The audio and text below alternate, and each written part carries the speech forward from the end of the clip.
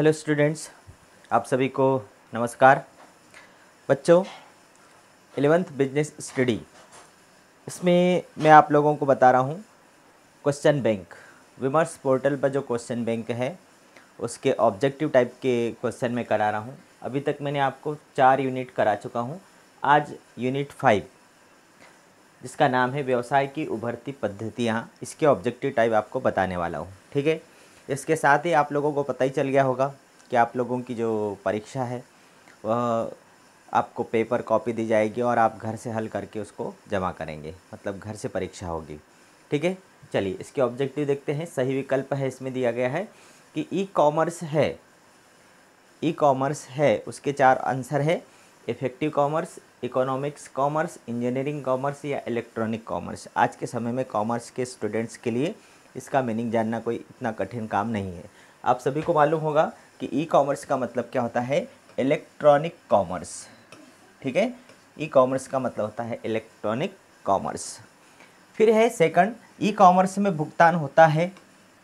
E commerce में भुगतान होता है। यदि हम इलेक्ट्रॉनिक कॉमर्स ई कॉमर्स से बिज़नेस करते हैं, कोई वस्तु खरीदते हैं तो उसमें हम भुगतान कैसे करेंगे? इलेक्ट्रॉनिक माध्यम से ही भुगतान करेंगे। है ना? नगद भुगतान भी नहीं होगा, चेक द्वारा भी नहीं होगा। किसके द्वारा होगा? इलेक्ट्रॉनिक माध्यम कौन सा है? डेबिट एवं क्रेडिट कार्ड से।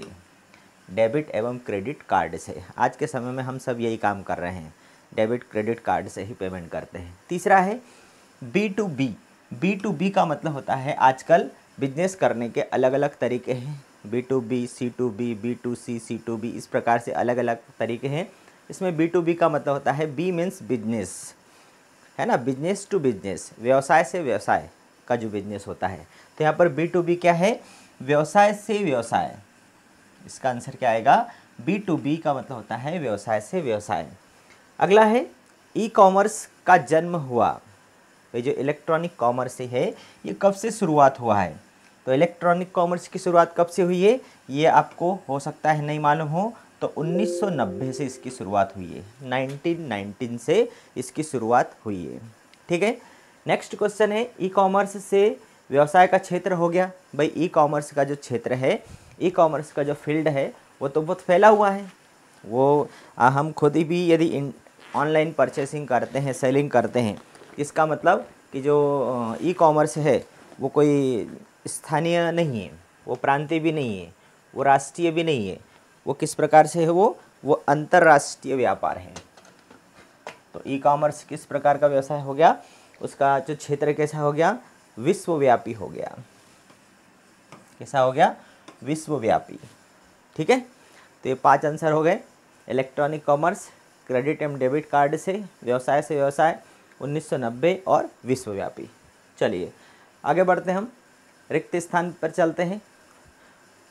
ऑनलाइन व्यवसाय में जब दोनों पक्ष, क्रेता और विक्रेता, दोनों पक्ष का मतलब होता है क्रेता और विक्रेता दोनों तो ऑनलाइन व्यवसाय में जब दोनों पक्ष, क्रेता और विक्रेता, इसका मतलब खालिस्तान हो तो वह ई टू ई होता है इलेक्ट्रॉनिक टू इलेक्ट्रॉनिक।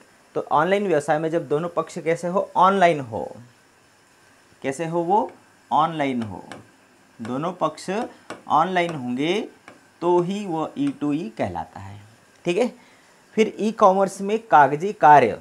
भाई ई कॉमर्स से हम इलेक्ट्रॉनिक यदि बिज़नेस करते हैं तो वहाँ पर कागज़ की तो ज़रूरत ही नहीं पड़ेगी। मतलब कम से कम, या उसको हम क्या बोलेंगे? न्यूनतम। न्यूनतम। ई कॉमर्स में कागज़ी कार्य न्यूनतम रहता है। फिर बी टू बी व्यापार। बी टू बी अभी मैंने बताया था बिज़नेस टू बिज़नेस व्यवसाय से व्यवसाय। तो बी टू बी व्यापार व्यवसाय का व्यवसाय का व्यापार से,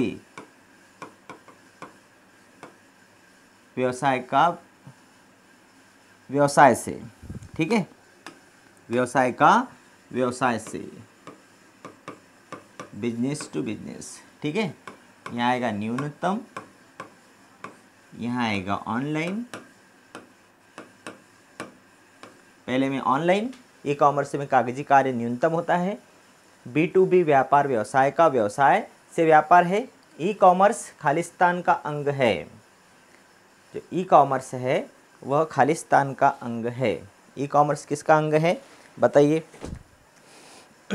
ई कॉमर्स खालिस्तान का अंग है। और एक और आएगा हमारा। ई कॉमर्स खालिस्तान का अंग है।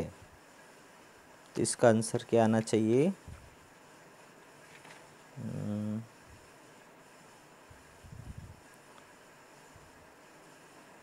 ई व्यवसाय है ना? ई कॉमर्स किसका अंग है? ई व्यवसाय का अंग है। ई व्यवसाय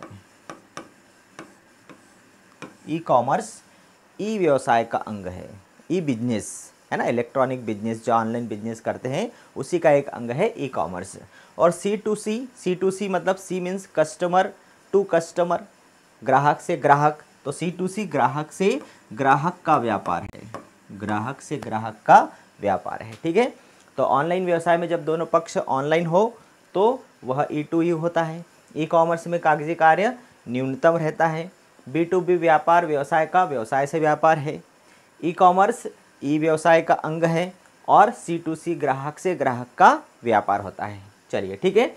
ये यूनिट हमारी कंप्लीट हो गई। इसके आगे अगली यूनिट के ऑब्जेक्टिव देखते हैं। देखिए, पाँच के बाद सीधी सात यूनिट आ गई। मतलब जो सिक्स यूनिट है वो आपकी हट चुकी है। यूनिट सेवन कंपनी का निर्माण। इससे रिलेटेड देखते हैं। एक वाक्य में उत्तर दिए गए हैं। कंपनी का निर्माण करने वाले व्यक्ति क्या कहलाते हैं? भाई कंपनी आपने व्यावसायिक संगठन के अलग अलग स्वरूप पढ़े होंगे, एकाकी व्यापार, साझेदारी, है ना, कंपनी। तो कंपनी का जो निर्माण करने वाले जो लोग होते हैं, उन्हें हम क्या बोलते हैं? कंपनी का निर्माण करने वाले लोगों को प्रवर्तक कहा जाता है। क्या कहा जाता है? प्रवर्तक। ठीक है? प्रवर्तक। कंपनी का निर्माण करने वाले लोगों को क्या कहा जाता है? प्रवर्तक कहा जाता है। कंपनी के आंतरिक नियम रखने वाले प्रपत्र को क्या कहते हैं? जब कंपनी का निर्माण होता है तो रजिस्ट्रार ऑफ़िस में जब रजिस्ट्रेशन के लिए जाते हैं तो ये प्रवर्तक एक फ़ाइल में अलग अलग कुछ फॉर्म भर के ले जाते हैं। तो कंपनी की जो आंतरिक नियम से संबंधित एक फॉर्म होता है अलग अलग उसके फॉर्म होते हैं। पार्षद सीमा नियम, पार्षद अंतर नियम, है ना? तो आंतरिक नियम से संबंधित जो होता है, वो कौन सा होता है? पार्षद अंतर नियम। पार्षद अंतर नियम ये होता है, ठीक है? इसको सही तरीके से लिखना सीख लेना। कंपनी का आंतरिक नियम रखने वाले प्रपत्र को कहा जाता है पार्षद अंतर नियम व्यापार आरंभ करने के लिए कंपनी को एक न्यूनतम राशि की आवश्यकता होती है। वे व्यापार को आरंभ करना है। तो व्यापार आरंभ करने के लिए कंपनी को एक कम से कम न्यूनतम राशि की आवश्यकता होती है। और वो क्या कहलाती है? उसे कहा जाता है कंपनी की भाषा में न्यूनतम अभिदान। न्यूनतम अभिदान। क्या होता है कि सबसे पहले कंपनी का समामेलन होता है। समामेलन का प्रमाण पत्र मिलने के बाद में एक निजी कंपनी तो अपना व्यापार प्रारंभ कर देती है, लेकिन एक सार्वजनिक कंपनी को प्रविवरण जारी करना पड़ता है। तो प्रविवरण जब कंपनी जारी करती है तो उसे अपना व्यापार आरंभ करने के लिए प्रविवरण जारी करने के बाद न्यूनतम अभिदान मिलना चाहिए। उसने जितने शेयर निर्गमन किए गए हैं, उसमें कम से कम उसको न्यूनतम अभिधान मिलेगा, तभी उसका व्यापार आरंभ हो सकता है। तो व्यापार आरंभ करने के लिए एक सार्वजनिक कंपनी को न्यूनतम अभिधान मिलना चाहिए। कंपनी के नाम का अनुमोदन कौन करता है? कंपनी के नाम का अनुमोदन कौन करेगा? भाई, ऐसे तो कोई भी व्यक्ति कुछ भी कंपनी का नाम रख सकता है। तो कंपनी का नाम का अनुमोदन पंजीयक करता है। हर एक स्टेट में एक पंजीयक पंजीयन ऑफिसर होता है, ऑफ़िस होता है, जहाँ पर कंपनी का रजिस्ट्रेशन करने के लिए हम फ़ाइल सबमिट करते हैं। तो हम कंपनी का नाम भी उसमें रख लिख करके भेजते हैं। तो ऐसा कोई भी व्यक्ति किसी दूसरी कंपनी का नाम रख ले, ऐसा नहीं होता है। नाम अलग होना चाहिए, यूनिक होना चाहिए। तो रजिस्ट्रार या फिर उसको हम क्या बोलते हैं, पंजीयक, ये उसका अनुमोदन करता है कि हाँ ठीक है। कंपनी के प्रथम निर्देशक कौन होते हैं? प्रथम निर्देशक का मतलब ये होता है कि जो कंपनी के निर्माण की प्रक्रिया करने वाले जो लोग होते हैं, वो क्या कहलाते हैं? प्रवर्तक। और वो प्रवर्तक ही उसके प्रथम निर्देशक कहलाते हैं। ठीक है? जो प्रवर्तक होते हैं, वो प्रवर्तक ही उसके निर्देशक कहलाते हैं। ठीक है? तो पहले का हो गया प्रवर्तक। कंपनी का निर्माण करने वाले व्यक्ति क्या कहलाते हैं? प्रवर्तक। आंतरिक नियम, पार्षद अंतर नियम व्यापार आरंभ करने के लिए कंपनी को एक न्यूनतम राशि की आवश्यकता होती है। कौन सी? न्यूनतम अभिधान कंपनी के नाम का अनुमोदन कौन करता है? रजिस्ट्रार या पंजीयक। कंपनी के प्रथम निर्देशक कौन होते हैं? वो भी प्रवर्तक होते हैं। ठीक है? तो ये दो यूनिट कंप्लीट हो गई है। अब इसके आगे की जो यूनिट है, वो आज शाम में मैं आप लोगों को करवाऊँगा complete. Okay? Thank you. Bye.